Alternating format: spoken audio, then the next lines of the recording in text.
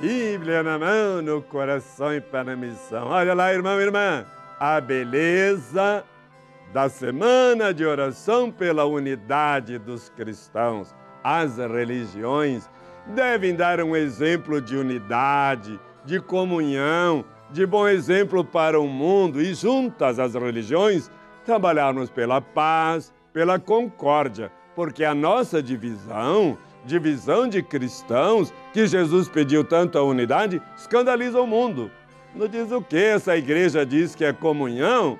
Está brigando entre si, escandaliza o mundo, prejudica o cristianismo, ofende a Deus e desacredita o evangelho. Por isso a divisão é do maligno, não é de Deus. A unidade é de Deus. A unidade é difícil, mas a unidade é possível. Pela força da fé, pelo poder do perdão, pela cura da nossa memória tão cheia de preconceitos, pelo trabalho social em conjunto das religiões.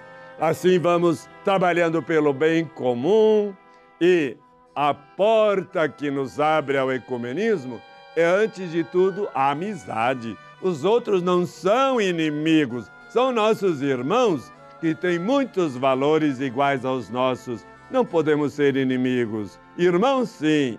As razões que nos unem são mais fortes do que aquelas que nos dividem. O Pai quer reunir os filhos dispersos. Jesus abateu, derrubou o muro da inimizade e nos trouxe a paz. Por isso, com a força da oração, do amor, da espiritualidade e do nosso conhecimento mútuo, podemos dar passos largos em busca da unidade. Toda divisão vem do maligno, toda comunhão e unidade vem de Deus. Precisamos então da espiritualidade de comunhão e nós, católicos, devemos dar o primeiro passo na direção da unidade do ecumenismo. São dos eixos transversais do Concílio Vaticano II.